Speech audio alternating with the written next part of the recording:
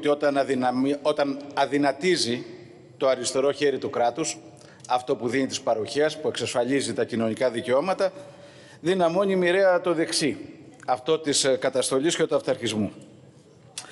Όσο όμως, ε, κυρίες και κύριοι της Δημοκρατίας, μπορείτε νομοθετικά να απαγορεύσετε το νόμο της βαρύτητας, άλλο τόσο μπορείτε να απαγορεύσετε είτε τη δυνατότητα της κοινωνίας να διαμαρτύρεται και να αντιδρά, είτε την, ε, το ριζοσπαστισμό και τη ριζοσπαστικοποίηση, όπως επιχειρείται στο άρθρο 19. Πρέπει όμως να προσδιορίσουμε τις διαφορές, γιατί είδα και στις αρχικές τοποθετήσεις, στις εισηγήσεις και στην ένσταση αντισταγματικότητας να απαντάτε σε θέματα που δεν έχουν τεθεί. Δεν σας είπαμε ποτέ χουντικούς. Είπαμε ότι το νομοσχέδιο επαναλαμβάνει τις περισσότερες από τις διατάξεις του χουντικού νομοθετικού διατάγματος. Θα ήταν ανακριβές να σας πούμε χουντικούς, γιατί δεν είσαστε. Ένας μόνο από εσάς. Και μάλιστα πρόσφατο απόκτημα. Ήταν Γενικός Γραμματέας της ΕΠΕΝ. Αυτό που λέμε είναι ότι το νομοθετικό διάταγμα επαναλαμβάνεται σχεδόν αυτούσιος στις ρυθμίσεις του νομοσχεδίου, χωρίς να πάρει υπόψη ότι βρισκόμαστε σε εντελώς διαφορετικό συνταγματικό πλαίσιο από αυτό του ψεύδο συντάγματος του 68. Το δικαίωμα του συνέρχεστε είναι από τα αρχαιότερα ατομικά δικαιώματα ήδη στο Σύνταγμα του 64. Και ως λόγος περιορισμού του δικαιώματος προελέπονταν πάντοτε δύο. Σοβαρός κίνδυνος για τη δημόσια ασφάλεια ή σοβαρή διατάραξη της κοινωνικο-οικονομικής ζωής. Και στις δύο περιπτώσεις το σοβαρός σημαίνει ότι όχι ο συνήθις, η συνήθις διατάραξη που μοιραία προκύπτει από κάθε διαδήλωση. Πρέπει να ξεπερνά κάποια όρια. Τι έλεγε το ψευδοσύνταγμα του 68 και του 73, προέβλεψε και άλλες προϋποθέσεις ότι οι δημόσιες συναθρήσεις πρέπει να γνωστοποιούνται δεόντως στην αστυνομική αρχή. Στη βάση αυτής της ρύθμισης και της αντίστοιχης περί Προέδρου της ε, διαδήλωσης συντάχθηκε το νομοθετικό διάταγμα 794 το 71. Κοιτάξτε λοιπόν πόσο ο Μανολεδάκης ασκούσε κριτική σε αυτό το νομοθετικό διάταγμα ως αντίθετο στις συνταγματικές ρυθμίσεις της ισχύουσες, οι οποίες θα μπορούσαν μόταμο να εφαρμοστούν στις δικές σας ρυθμίσεις.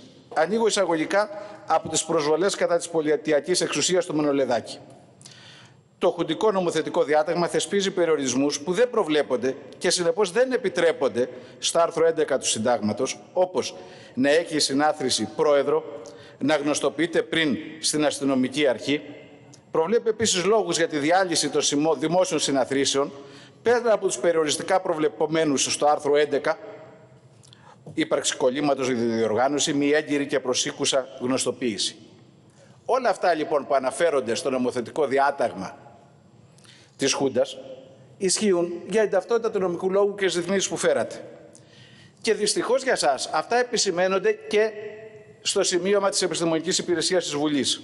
Τι λέει εκεί, ότι άλλο γνωστοποίηση, που προφανώς μπορεί να προβλεφθεί, προφανώς ισχύει στο μέσο όρο των ευρωπαϊκών χωρών, και άλλο η μη γνωστοποίηση να αποτελεί είτε κριτήριο για την νομιμότητα της διαδήλωσης, είτε πολύ περισσότερο ανεκτό λόγο διάλυσης μιας διαδήλωσης.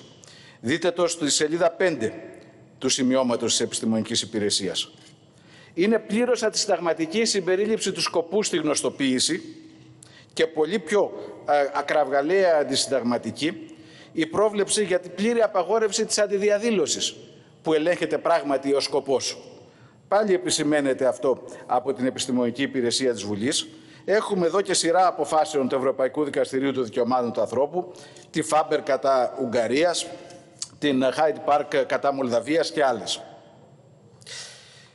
Επομένως, εφόσον δεν αποτελεί συνταγματικό ανεκτό κριτήριο για την νομιμότητα της διαδήλωσης και πολύ περισσότερο για το επιτρεπτό της διάλυσής της, όχι μόνο η γνωμοδότηση, αλλά και η υποχρέωση δήλωσης οργανωτή ανάγεται σε αυτά που το Σύνταγμα δεν προβλέπει και άρα απαγορεύει.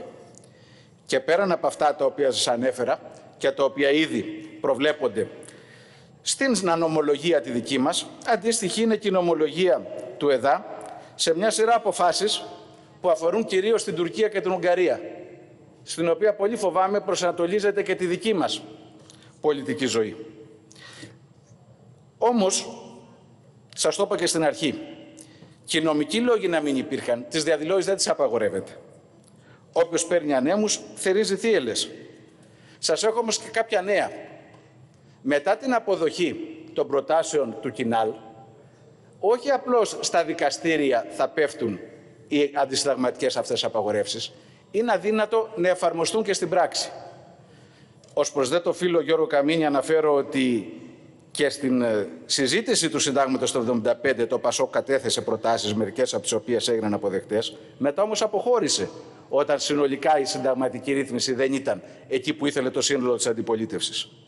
Γιατί θεωρώ λοιπόν ότι οι αλλαγές που κάνετε, οι νομοτεχνικές βελτιώσεις μετά από την πρόταση του Κινάλ, ουσιαστικά καθιστούν πλήρως ανεφάρμαστο, μια μικρή ανοχή, μια μικρή ανοχή κύριε Πρόεδρε, το νομοσχέδιο.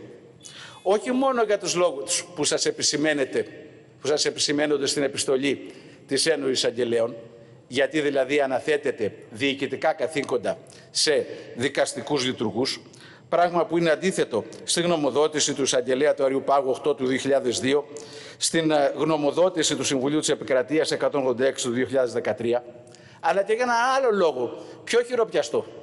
Τι καθιερώνεται εκεί; Μια σύνθετη διοικητική ενέργεια που καταλήγει με την απόφαση της αστυνομίας είτε να θεωρήσει μη νόμιμη τη διαδήλωση στη φάση της νομιμότητας, είτε στην απόφασή της να διαλύσει τη διαδήλωση, όπου μέρος της σύνθετης διοικητικής ενέργειας είναι ένα δικαστικό όργανο.